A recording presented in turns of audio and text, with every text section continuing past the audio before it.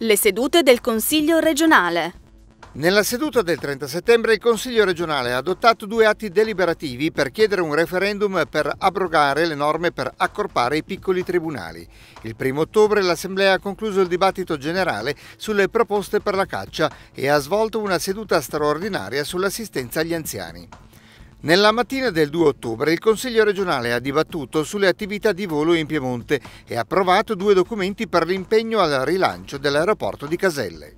Insediata la Commissione Antimafia. Il 30 settembre si è insediata la Commissione speciale di indagine per la promozione della cultura della legalità e il contrasto della criminalità organizzata, istituita dal Consiglio regionale nel luglio scorso. Nella prima seduta sono stati eletti come presidente Andrea Buquicchio Italia dei Valori e in qualità di vicepresidenti Daniele Cantore Popolo della Libertà e Andrea Stara insieme per Bresso. Fare rete contro il dolore.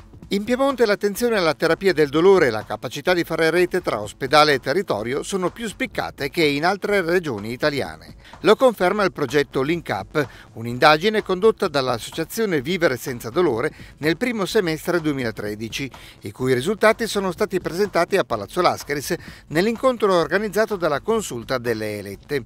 Sono intervenuti la Presidente Giuliana Manica, l'assessore alla sanità Ugo Cavallera, Marta Gentili dell'Associazione Vivere Senza Dolore e Rossella Marzi della Commissione Terapia del Dolore della Regione. Casimiro Teia, sulla vetta dell'umorismo. Fino al 16 novembre nella sede di Via Piave 21 dell'Archivio di Stato di Torino è aperta la mostra Casimiro Teia sulla vetta dell'umorismo. Disegni, vignette e immagini del principe dei caricaturisti che visse a Torino nella seconda metà dell'Ottocento e fu direttore del Pasquino. Tema dominante è la montagna, in omaggio ai 150 anni della fondazione del Club Alpino Italiano. Giornata mondiale dei sordi.